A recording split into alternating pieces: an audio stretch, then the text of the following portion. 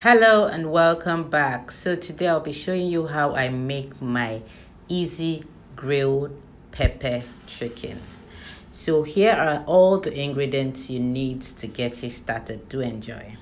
Your pepper garlic ginger oil and your spice to make the paste for your marinade.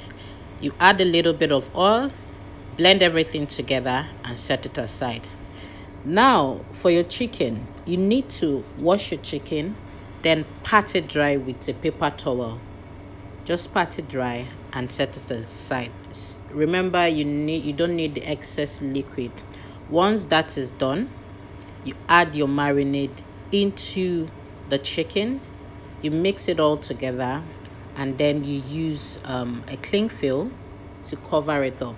Once you cover it up, you set it in the fridge. For this recipe i did it for 30 minutes.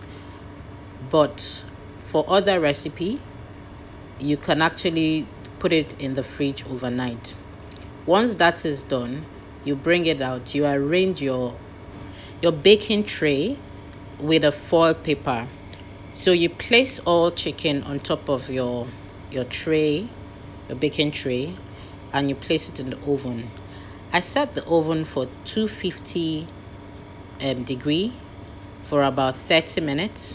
And what I'm going to do is, in between, I'm going to go back and check. You will notice excess stock in the chicken. Remove it, drain it out, and then place it back in the oven. If you still have your remaining uh, um, marinade, you can apply it over it. Once you're done brushing the marinade over the chicken, Place it back into the oven for another 15 to 20 minutes. Take it out of the oven and serve. I used the marinade as my pepper paste, but what I did was I heat it up.